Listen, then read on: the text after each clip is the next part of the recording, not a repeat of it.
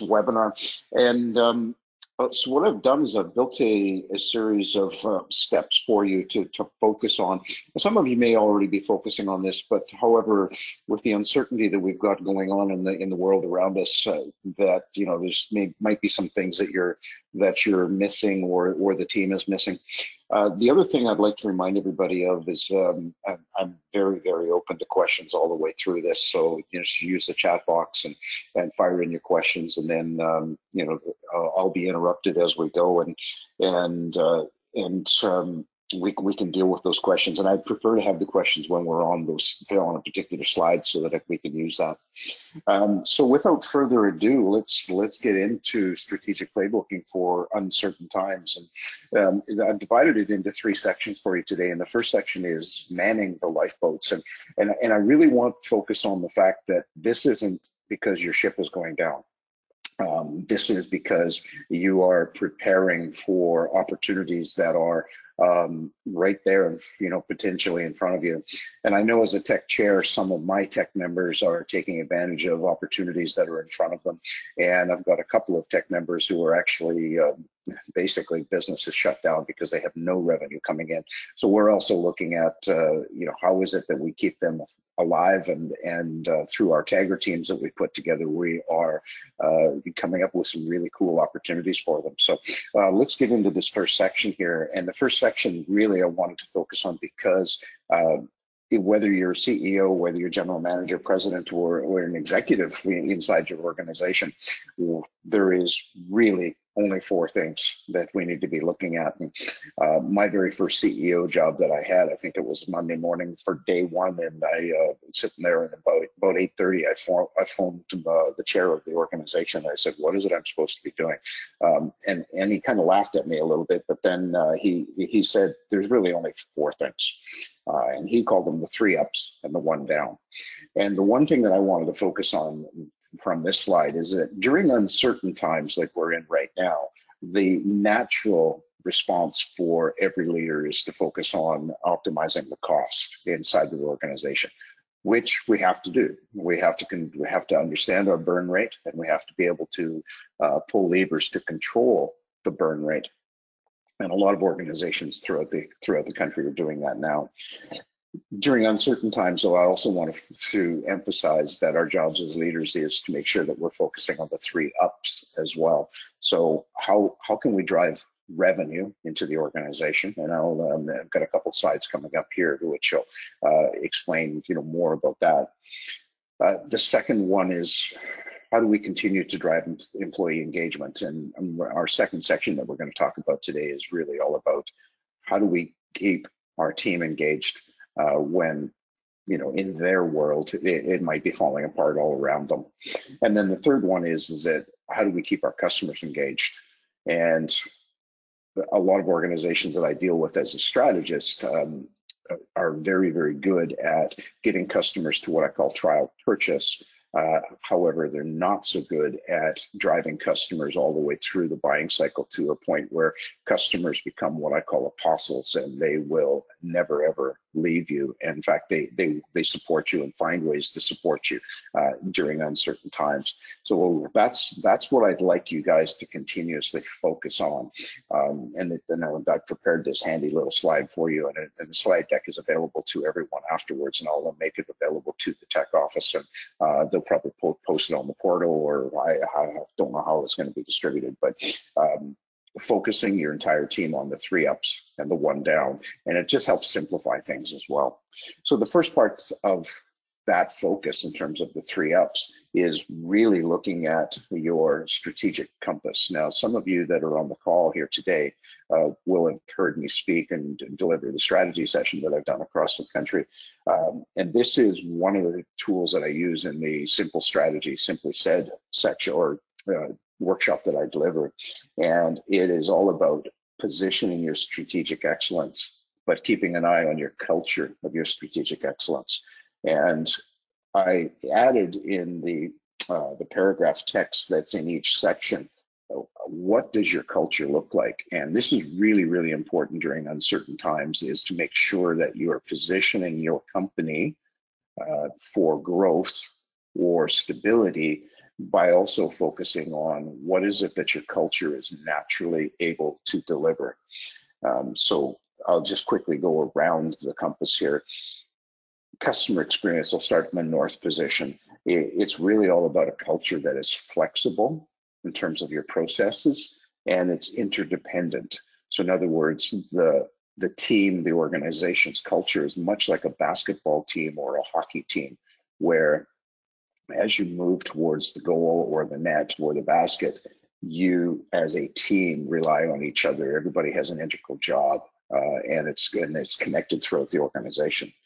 Um, and your processes, as, I said, are flexible. It's a culture that's typically of caring, higher purpose environments, are warm, collaborative, welcoming. Uh, people support each other.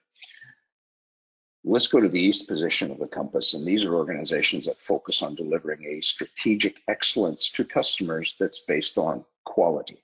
It's a typical culture of planning and caution and preparedness, and uh, environments are very methodical. Um, so the culture is also very interdependent, like a hockey team or a basketball team. However, the processes are more stable, and Henry Ford said it best once when uh, he said, "You can have any color you want as long as it's black." And these are organizations that have are very, very process driven in order to maintain their level of quality. As we work our way around the compass, it's also really important to remember that organizations that are doing really well in uncertain times and in time to when it's when times are good is that they focus a particular strategic greatness in their organization. However, they also remain, remain good at the other points on the compass. Uh, it is this model is built upon you can't be all things to all people. So let's look at the south position, which is operational efficiency. And these are cultures that are typically uh, very decisive, the results orientated, and it's all about winning. Environments are outcome oriented and merit based. Uh, those organizations are very, very stable in terms of their processes, very process driven, very replicable in terms of their structure yet the teams and the culture operates more independently. So it's much like a golfer or a tennis player um, when when they're out there performing. They they perform as individuals and as a group of individuals, the organization wins. And then the final one on the compass is innovation, and it's a typical culture of exploration, expansiveness, and creativity. Uh, these these organizations have a pros have a culture that's very flexible, but also interdependent. So your organization will fit in one of these places. And I think it's, it's really important to highlight that we as leaders in the organization need to make sure that we are sticking to our greatness and our greatness is tied to our culture. And the culture is able to deliver that greatness. You still need to be good at the other three points, but there is a reason why customers buy from you and we need to make sure that even during uncertain times that we are stay, staying true to that because we can't change our stripes. The next slide that I want to uh, focus on is a Venn diagram. And, and again, some of you who have heard me speak or have seen this, um, and this is just a simple three circle Venn diagram where up on the right hand side, we have the total customer market that is available. Down at the bottom, circle represents your organization. And then in the, uh, I guess it's the 10 o'clock position, that circle represents your competitors. And when we overlay them, there's a bunch of intersections that I want to highlight here.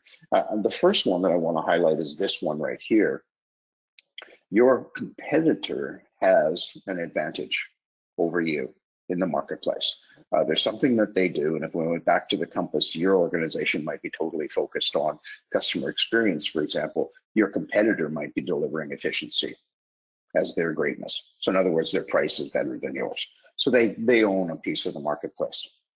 Uh, there's this kind of weird place that happens right here when we're in uncertain times like we are right now. We tend to take our eye off of the market and what the market needs, and we start focusing on our competitors. And meanwhile, our competitors are focusing on us. And it creates this kind of weird place where it doesn't deliver any value to the marketplace at all yet we're busy trying to produce or develop something because our competitors are doing it. Likewise, they're develop, developing it because we're doing it.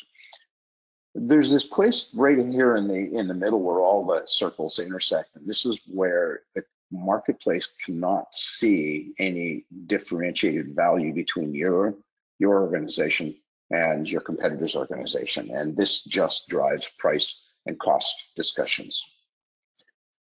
I call this spot right here your secret sauce. This is what you do better than anybody else. Your culture is designed or has, you know, accidentally been designed uh, to deliver value in this spot. And this is where the marketplace sees value from your organization. During uncertain times, it's really, really important for us to focus in on what is it that we do, what is our secret sauce, and there's a piece of the marketplace that sees value in that. So you're not going to be in the trenches slogging it out every single day with everybody else. It makes it easier for your organization to, um, you know, to fight and win.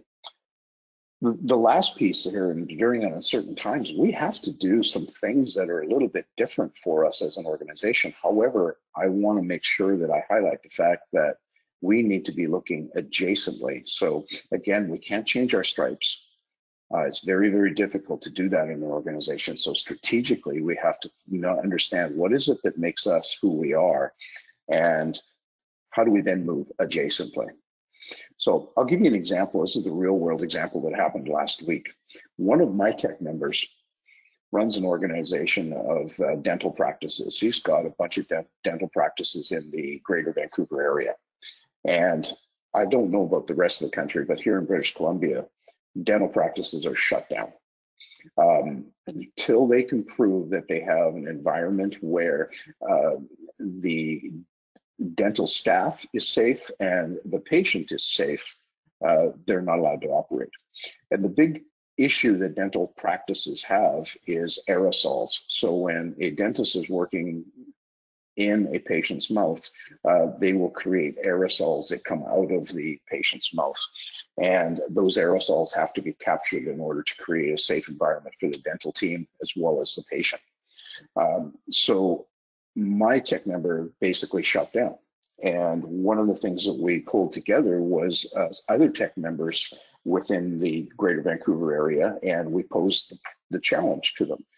And in on Monday of last week, this is what they came up with. And in uncertain times, one of the things to keep in mind is that it doesn't have to be perfect. Uh, General George Patton, in the end of the Second World War, was famous for saying that um, a good plan executed today is better than a perfect plan executed tomorrow. So this was on Monday, and they came up with this sort of sketch drawing about what it looked like. And the next day, it looked like this.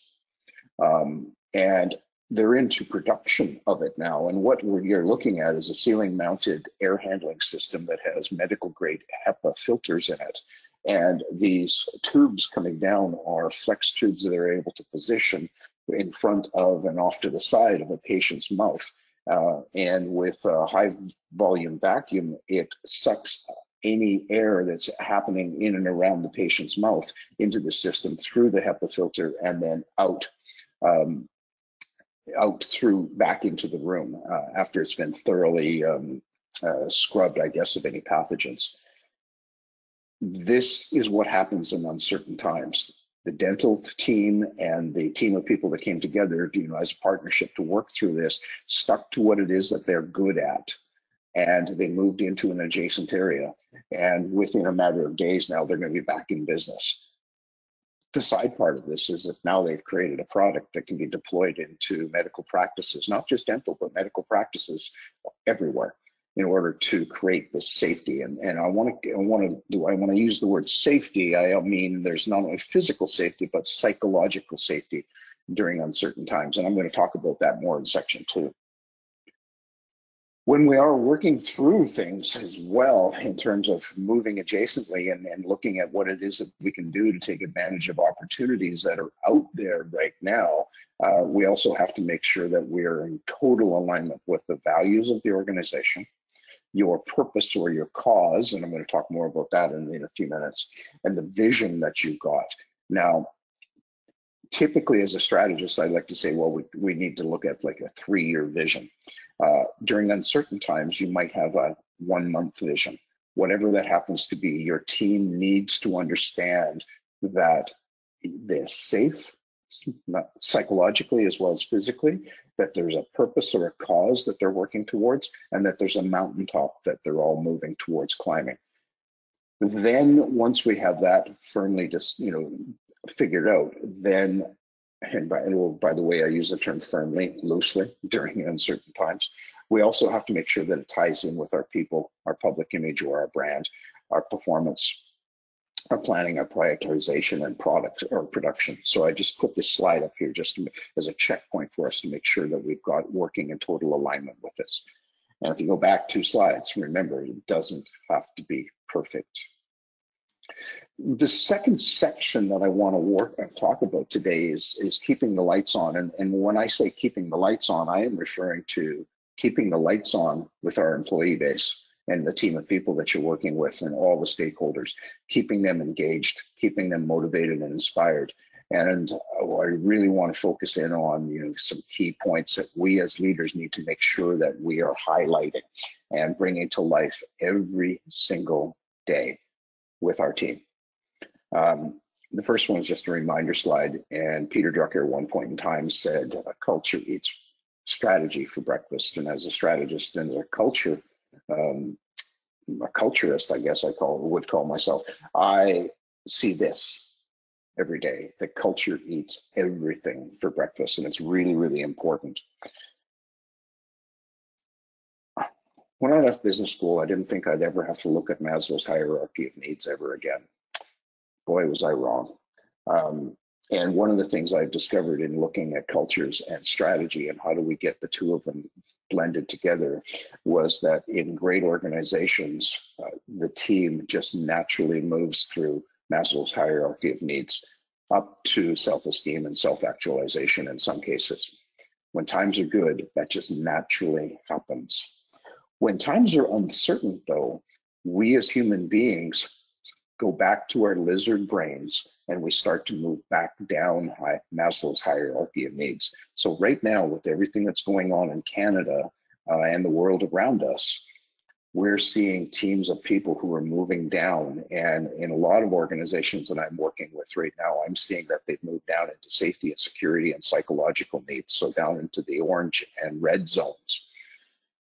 And it's natural for human beings when human beings don't understand what's going on and that they uh, they're confused and potentially scared. There's a lot of fear, uncertainty, and doubt, especially with social media and the mainstream media creating this FUD or fear, uncertainty, and doubt.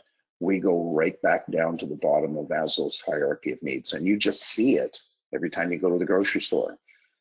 I don't understand this whole thing about toilet paper. I just don't get it at all. But it's people who are responding from a psychological need um, point of view, where they're completely concerned with you know the, the, the bottom basics of, of human behavior. And it's got everything to do with this. And I'm going to use the brain in terms of this model. Uh, our brain is way more complicated than this, but I'm a simple guy. And the psychology that's going on right now has got everything to do with this the right brain and the left brain. Well, the right brain is our limbic system, it's our lizard brain, it's our oldest brain. And it is the part of our brain that's completely and totally concerned about safety, both psychologically and physically. Well, it was originally designed to keep us physically safe from things that could eat us. Well, these days it's more concerned about psychological safety, but we're also starting to see physical safety needs kicking in. Again, you just have to go to your local grocery store and you see people wearing homemade masks, scarves wrapped around their face, uh, and it's happened. It's all happening right here in the right brain or our limbic system, where we're concerned about that safety element. The unfortunate part is that this part of our brain never never matures beyond the level of a five-year-old. Um, so you're seeing a lot of irrational, emotional behavior coming out of people during uncertain times. That fear, that uncertainty, and doubt is happening amongst your team.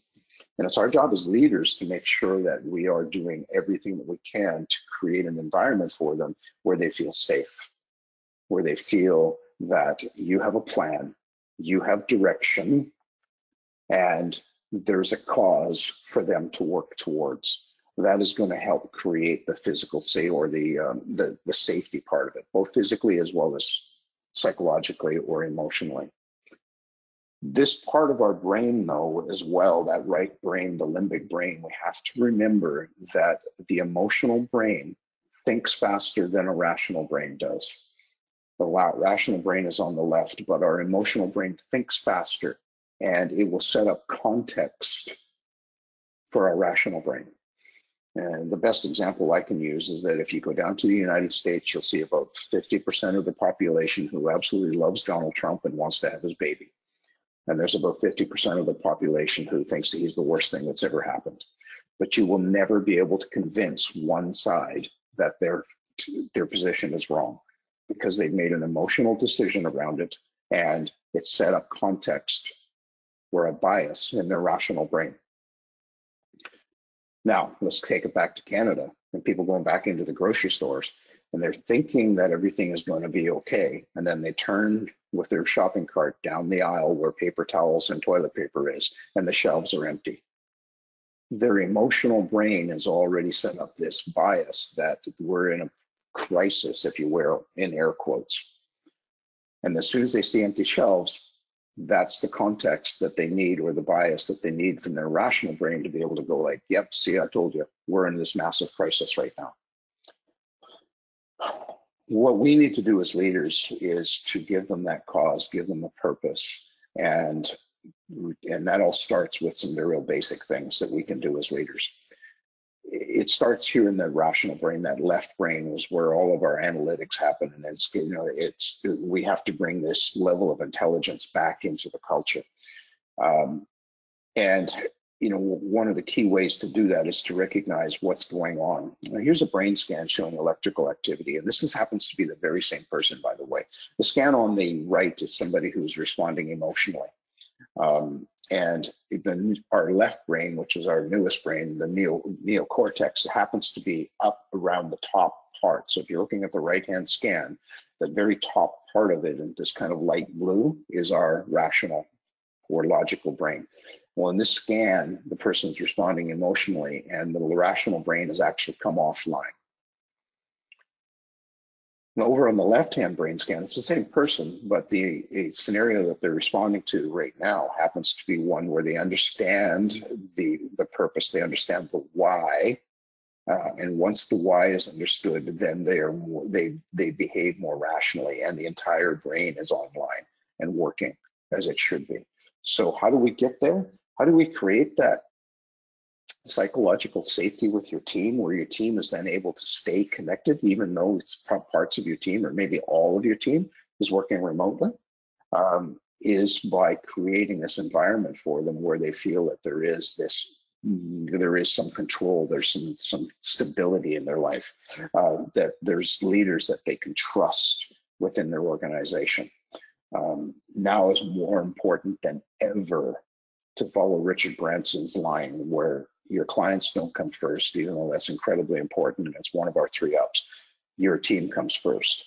Um, we have to make sure that their psychological needs are taken care of so that they'll take care of our clients. Well, there's a simple chart here, and it comes from the Gallup study in 2015, where Gallup studied over um, 70 large organizations in North America. And what they found was that on the left hand side, organizations that had a high level of engagement versus the right hand side in red, organizations that had a low level of engagement. The difference was that their leaders were out being very, very active, connecting and being with their people.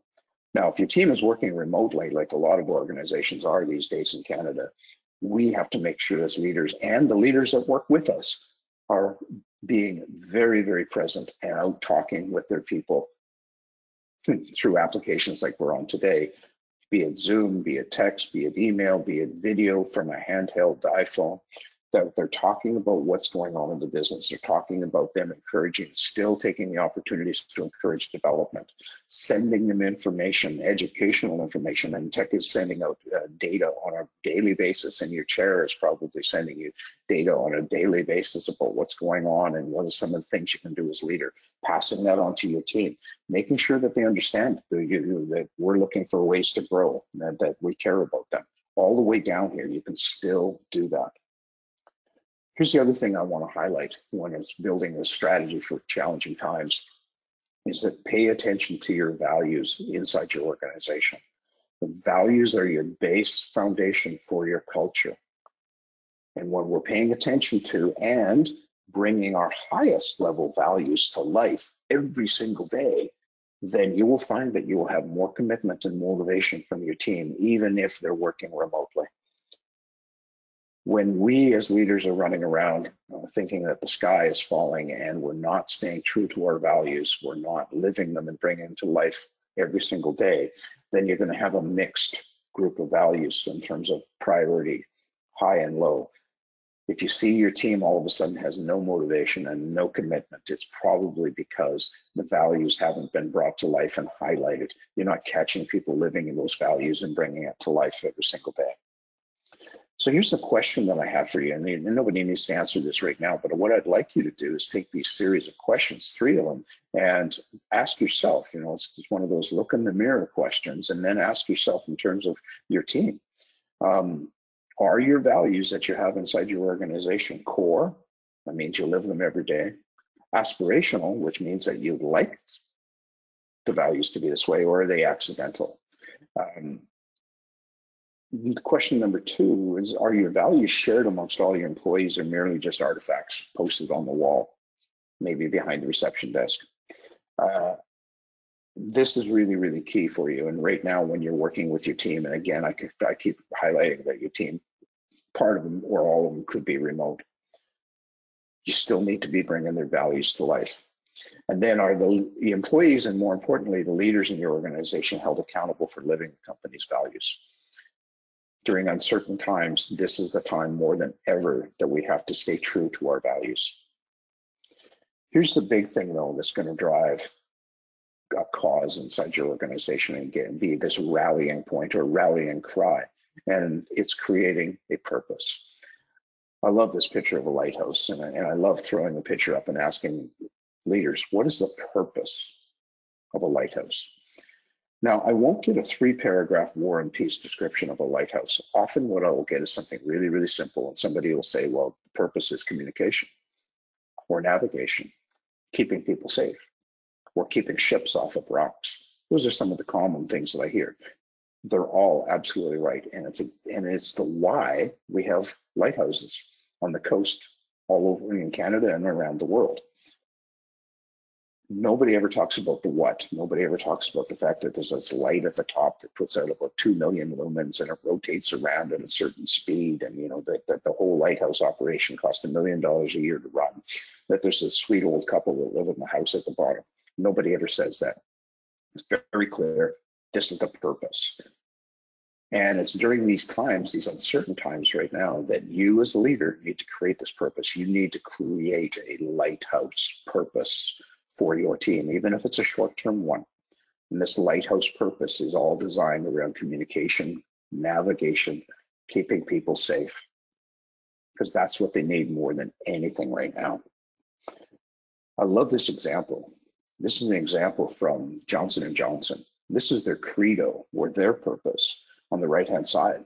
And this is over 100 years old. And they say that their credo or their cause, their purpose we believe our first responsibility is to patients, doctors, and nurses, to mothers and fathers, and all others who use our products and services. Well, they put this purpose to test during uncertain times for them, which was September 1982, when in Chicago, somebody who they had never caught decided to lace some Tylenol bottles with cyanide. Well, seven people passed away as a result of that, and taking uh, contaminated Tylenol. Well, Tylenol, when the Johnson & Johnson executives looked at their credo, their purpose, their cause, and the first thing that they did was they pulled $100 million worth of Tylenol product in 1982 off the shelves worldwide. Against the recommendations of the FBI and the Food and Drug Administration in the US, they pulled all of them off the shelf. And within six weeks, they had redesigned their packaging and their bottles and created the very first tamper-proof packaging for bottles, which is now standard for everything that we see in uh, drugstores, grocery stores, anything that's uh, where there's either pain medication, aspirin, Tylenol, even vitamins, all have tamper-proof packaging because of this. but more importantly, within three months, Tylenol was back on the shelf and their sales were back to where they were pre crisis in Chicago. And I often ask, where would Boeing be today if they had lived their purpose? And five years ago, when the Boeing 737 MAX 8 first hit the, the air, um, and they were hearing from pilots that there is problems with this aircraft, where would they be today with that aircraft if they had pulled it out of service right there and then, and if they had lived their purpose? So this is how powerful purpose is to your organization. You are in uncertain times right now. Your people need a cause. They need something to rally around. And your purpose, your why, is one of the most important things that you can do. I'm going to pause right here just to see if there's any questions. Are you getting any coming in? No, Bob, but I want, you know what? It's interesting. You know, as you're as you're looking at this Tylenol example, I see this thread that's going through because you know you had that beautiful example at the beginning about your dental practice and bringing um, divergent leaders in in different organizations together to help solve that problem. And I'm I'm wondering what that Tylenol staff leadership meeting looked like that came up with this type of innovation that actually led to product safety, which is now a gold standard. Yeah, I, have done a lot of reading about what happened in the in the, the, the senior leadership team within Tylenol or within Johnson and Johnson actually, and it was a no-brainer for them. Um, you know, they they had this crisis unfolding, uh, and unfortunately, seven people passed away. Um, and it was a no-brainer discussion for them because the CEO, and I can't remember who his name was at the time, said, "Our credo. This is what we're all about." and they repeated it. And there wasn't a single person in the room who debated the fact that they should pull every bottle off the shelf. And we have to remember this is 1982, 100 million dollars in 1982 money. You know that's 38 years ago. Um, that's a big decision for an organization. And it's it's interesting too that you know, like you used to say, uh, the thread that I'm picking up is that the adversity that many many of the companies that people who are participating on this webinar are engaged in right now are going through probably the most challenging time in their business. Mm-hmm. And mm-hmm. maybe this is the time to to lean into that, you know, innovation component and say, okay, all right, we we've got product, but we can't sell. What should we be doing? Come together and and maybe be creative in that in that adverse work environment and sort of get out of like mm-hmm. you say out of that limbic brain and into that creativity you know uh, right brain left brain opposition how do we do mm-hmm. that how do we get our teams thinking more innovatively well, you know, one of the things is that I, as a strategist, again, I go back to that Venn diagram and I and I, I try to not try, tries convenient excuse for not getting things done. I focus people on let's stay adjacent here. Let's make sure that we're staying true to who we are. Now, the dental example, uh, you know, he, he's out of business. Five practices out of business and the, the lease payments, and and uh, there's a lot of cost when you know uh, associated with that. So we just asked the question: What do you need in order to be back in business? Well, the answer was a negative pressure environment. Um, and so then was so, but it was really uh, what I found fascinating was that my member, you know, his focus wasn't so much on the what, he was focused on the why. He said, I just want my patients and staff to feel safe. You know, he said that if somebody's got a dental emergency, well, we have to do what we have to do. But if in order to get back into day to day business and get back into the more elective things that his practices do, people have to feel safe. And that was a really, really key thing. So then when we put the word out to the TEC community, and this is why I love being a TEC chair, is the power of the TEC community, is that was what we led with. We led with that cause. And it turned out to be a really simple solution versus a negative pressure room is a very complicated solution. But this turned out to be super simple. And um, it was really that cause that drove everybody. And I, and I saw it in the people who came together in meetings that were happening uh, last Monday and Tuesday is that they were totally focused on the cause, not the engineering aspect. And Absolutely. that, yeah, and that's what drove the innovation. Right. And then, you know, you, you are focusing again on values, right? What's the value that I, that, uh, you know, that my, my, my mission statement and my value statement is not just, like you say, something that's plastered up on the wall. It's, it's how we act, you know, how we think, which leads to behavior, which leads to action. mm-hmm. That's exactly it. Yeah. Um, Bill Neal just posted in about, you know, you, you've given some perfect examples of living and being accountable to your purpose.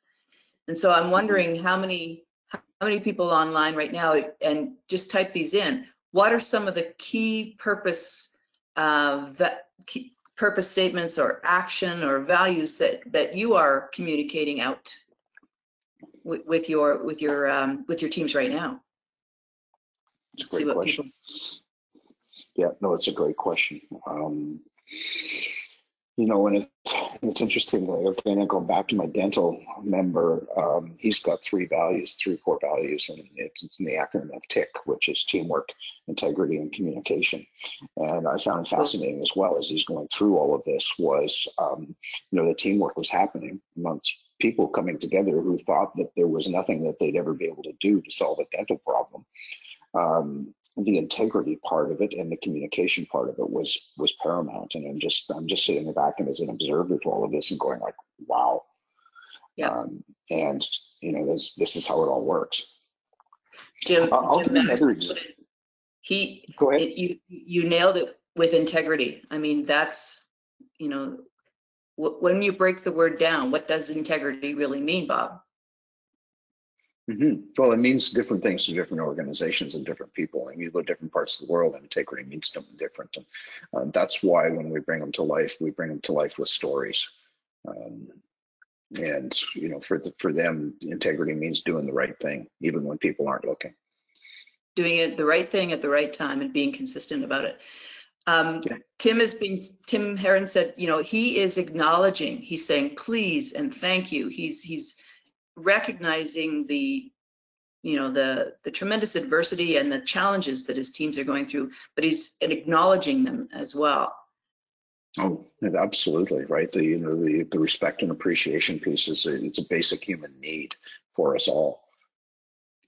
And Nancy was writing in too that she, what she's looking at is she's she's again kind of okay, we're here now, but let's like your lighthouse example, let's shine the light beyond where we're where where we're going to be in a while. So she's preparing um, their candidates for continued business success beyond the immediate challenges. Looking for, looking, you know, again, your lighthouse example is very clear. It's like the light shines out of a single point, but its destination is in you know, is beyond the present moment.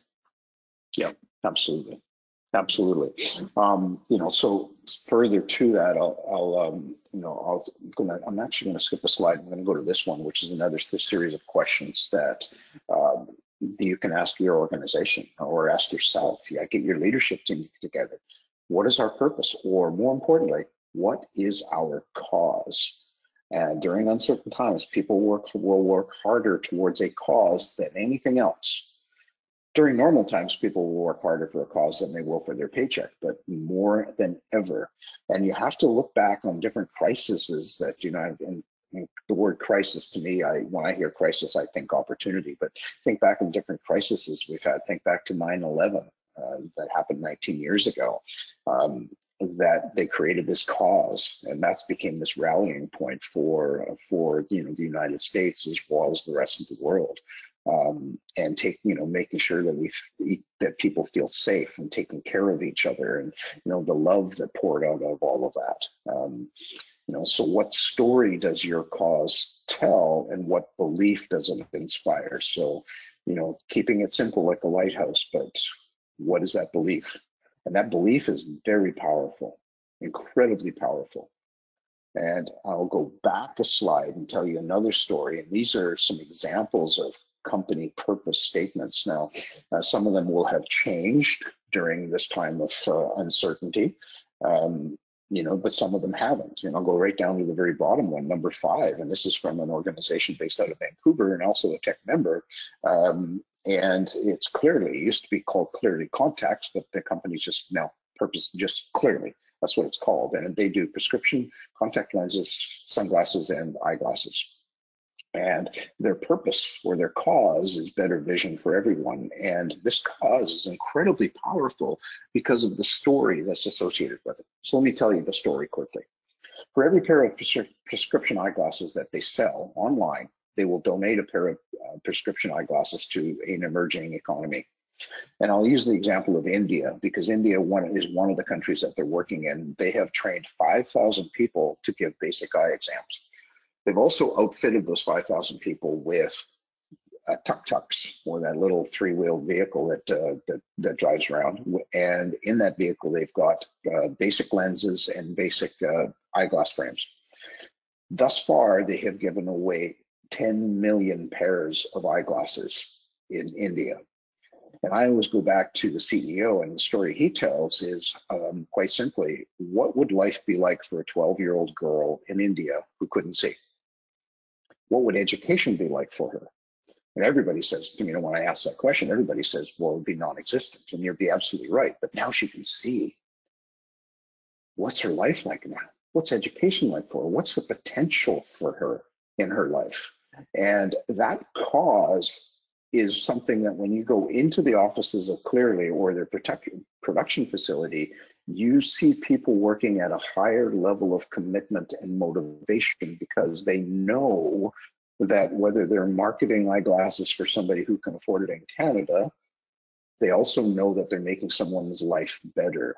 And that's the kind of cause, the power that we have to bring to you know, every day, but also during uncertain times. Um, and there's a one way to do that with your team. Tell them stories talk to them constantly to, you know, bring that cause to life by telling stories, use pictures, find that lighthouse picture that works for you guys. Use very clear contrast. And the contrast is important because it, it engages the rational brain. And just a reminder that the limbic or our old brain creates that cognitive bias in our new brain, the neocortex. And if we can use that clear contrast, you will set up rational behavior, rational thinking, that innovation that's going to come to help you take advantage of opportunities that are there. Communication is really, really key as well as we go through this. Uh, and I just want to remind everybody that communications, your playbook has got to be really simple. Step one starts with why. Simon Sinek said it in his book, Start with Why, but it's really key because that clocks in or engages the limbic or emotional brain. Once we understand the why, we're ready to move to step two as human beings, which is the what. What is it we're going to do? What mountain do you want me to climb? What does good look like? Then it moves, we naturally move to step three, which is the how. And then naturally after that, we move to part four or step four, which is what do you need me to do? And that's the way we think as human beings. So as we, if we as leaders are communicating that way, then we're able to get our people engaged around that model as well. And it, it ties in perfectly with how people think. I want to get to the last section, which is hitting the ground running. And hitting the ground running is for today as well as, you know, I, I, hope it's three months from now. Some people are telling me it's nine months from now, but we have to be prepared for whatever we get back to, whatever the new normal looks like for us. And how do we position our business not to be, you know, business as usual as we used to know it, but business as usual for the future. And what does that look like? And go back to all the way, all the things that I've talked about today. And that's what we have to be planning for. Planning for next week, but we're also planning for what when we come out of this. And, and, those of you who heard me speak have also heard me or seen me use this slide here. And I just want to remind or remind everybody that you know how powerful it is in terms of what goes on in an F1 pit. And if you look at this picture, the car represents your company. It is everything that your company does. It's your systems, your processes, your product, your services. It's the machine of your business. The driver or the pilot, as they call them an F1, is sitting in the center of the car. That's your customer. And everybody around the car is the team that's delivering that product or service for your customer.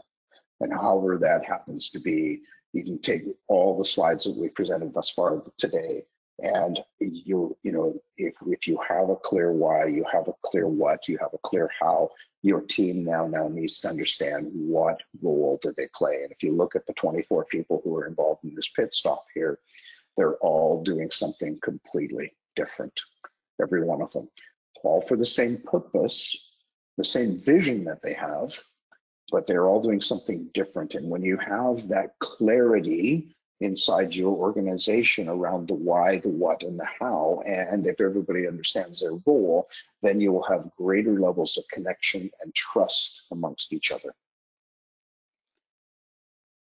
Um, I built a one pager for everybody, and this is going to be available to you in the deck. One pagers are very, very important for your strategic direction and allowing you to be able to communicate with your team. Um, and on this one pager, what is your vision? During uncertain times, I kind of throw the three year vision out the window and I'm kind of looking at, okay, what do we need to do right now? In the next month, the next three months, the next six months, what is our vision? What is our mountain that we want to climb? And what are the three things that we have to do in order to move into that adjacent space that aligns with our culture and aligns with what we're really good at? And why customers buy from us. And I know there's 150 things out there that you have to do, but what are the three most important things? So those are the three strategy boxes that are there. And I also put in this here, this space for you to put your purpose and your core values. So now you can send this out to everybody. If they're working from home, tell them to print it and stick it on the wall you can print it out, carry it around with you. You can share it with customers. You can share it with your team. You can talk about it every chance that you get. It It's bringing everything in line here. And we have to think back to the psychology that I was talking about briefly earlier in the webinar, which is what's going on in the human brain. And this parlays perfectly into checking the boxes for what's going on in the brains of the people who are following you. So this is available to you. The other thing that's available to you is, you know, through your TEC chair, um, reach out to me. Uh, I would love to get on the phone and have conversations with you or introduce you to some other TEC members that I know of um, that could potentially help you and solve a problem for you. So don't don't be afraid to reach out because um, I love doing this stuff. Uh, the other template that I wanted to make available to you guys as well is uh, that, okay, what are our three key strategies over on the right in the target area? But what are the things that we're working on now? And I put Q1 through Q4, but this could be week one through week four. Um, you know, it's the case with the dental uh, practice. Uh, we put day one through day four last week. Uh, by Thursday, we had a working prototype. So, uh, you know, it's really in terms of like, okay, what do we have to do in order to get to uh, the target place and, and deliver for us? So this template is also there, and the visual reference to it also keeps people uh, focused and engaged the final slide that I have for you guys, and I really want to open it up to questions in the last 10 minutes that we've got here, is um, in times of uncertainty and in times normal, whatever normal is, you have to make sure that you've got the five boxes checked in what it is that you're doing. There has to be focus on values. If there's not, there will be mistrust. So if you're not bringing values to life every day and catching people doing right, or doing things right, even if that just means quite simply saying please and thank you, like was pointed out earlier by Tim, there'll be mistrust. Your team needs a purpose. They need a why. They need a cause. And that if you don't have that, there'll be resistance. And think about times of uncertainty as well. There'll be fear, uncertainty, and doubt about what's going on. Your team needs a what. They need a vision. They need to know what mountaintop they're climbing. Uh, and without that, there'll be confusion. And you do not want confusion in times of uncertainty because people will slide further down into the depths of the Maslow's hierarchy of needs. They also need a how, um, and the how is tied in with the strategy and the action plan. Um, without key strategies, there'll be frustration, and without action planning with roles and responsibilities defined, there'll be false starts.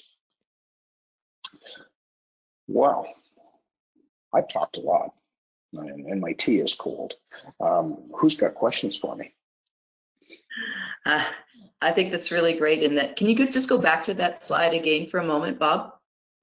Yep. And that if you're seeing, if anyone is seeing any of these or hearing this mistrust res- or seeing resistance and confusion, frustration, false starts, this is a great diagnostic tool for identifying what needs to be fixed right now. And I think that's a that, that's a great great tool. I mean, I saw this last time, and again, every time I I listen to this, Bob, I, I learn something new. I want to let everybody know that uh, Bob's slide deck and this recording will be available on our uh, TEC Canada website, and it's under the COVID-19 Insights. There's two, when you uh, click that box on, on the banner, there's two drop boxes. One is resources and one is webinars. So all of the webinars will be on uh, that site, and that's where the information is, as well as the slide decks for this. So if you do have questions about that, They are quiet. Must be Monday morning out there or Monday afternoon. Everyone's trying to get busy, very busy. I do want to let everybody know that this is a short week for the webinar series, but um, in this week we have a lot of, of power hitters. Tomorrow is going to be Paul Hunt, who's going to be talking about pricing um, in a challenging time. And on Wednesday we have NHL champion Ryan Walter, who's going to be talking about leading and team leading, leading yourself. And then on Thursday, we're going to finish off with Major Mark Gasparotto, who was um, awarded the Meritorious Service Medal Award for his work in leading um, engineering teams in Kandahar. So we'd, we'd love to have you all on board again. Nancy is asking about your contact information. And uh, Nancy, if you want to um, I can help you direct direct you to your to your chair. Uh, I think Nancy is the building chair at this point too, but um, that's that's a connection that people really want. Oh, she's got it now. Okay, so that was a, a question about reaching out to you, Bob, for some of these resources, and there's your information as well. Yeah, So, they can reach out to me direct or or through your chair. Uh, my email for TEC Canada is r murray m u r r a y at tec-canada.com. Perfect. Well, Bob, uh, I'm going to say thank you again for a very enlightening, um, a very uplifting. It's great to see that that dental practice. I know that the last time I saw it was just on the on the legal note paper, and now it's it's moved itself very quickly into a very um, interesting new medical device, which is going to be transformative, not only for Yes. dental practice, but probably in other areas too. Absolutely. All right, everyone. So thank you again for joining us. Um, and remember that these resources will be available on the TEC Canada website. So thanks again, Bob. Have a great week. Absolutely.